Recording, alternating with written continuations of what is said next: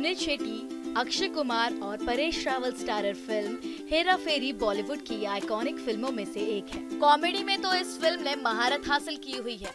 अब एक बार फिर फ़िल्म बड़े पर्दे पर कमाल दिखाने के लिए तैयार है। दरअसल फ़िल्म का सीक्वल पिछले कई महीनों से सुर्खियों में बना हुआ है। इस सुपरहिट फ्रेंचाइजी की पिछली दो फ़िल्मों में अक्षय कुमार, सुनील शेट्टी और परेश रावल मेन रोल में नज़र आए थे। कॉमेडी से भरपूर इस फ़िल्म को आज भी लोग देखना पसंद करते हैं। तीसरे पार्ट को लेकर कई तरह की खबरें भी सामने आ रही हैं, जिसमें से एक खबर ने फैंस को पूरी तरह से चौंका कर रख दिया है। दरअसल इस बार हेरा फेरी तीन में अक्षय कुमार नहीं बल्कि कार्तिक आर्यन राजू का किरदार निभाते हुए नज़र आएँगे क्योंकि अक्षय कुमार फ़िल्म का हिस्सा नहीं रहेंगे।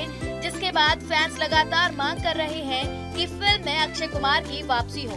वहीं अब इस फ़िल्म को लेकर सुनील शेट्टी ने भी अहम जानकारी दी है। उन्होंने बताया कि राजू, श्याम और बाबू राव के बिना हेरा फेरी के बारे में कल्पना नहीं की जा सकती। राजू के बिना श्याम नहीं और श्याम के बिना बाबू राव नहीं और तीनों के बिना हेरा फेरी नहीं। सुनील की इस बात पर फैंस अंदाज़ा लगा रहे हैं कि शायद फ़िल्म में अक्षय की वापसी हो सकती है।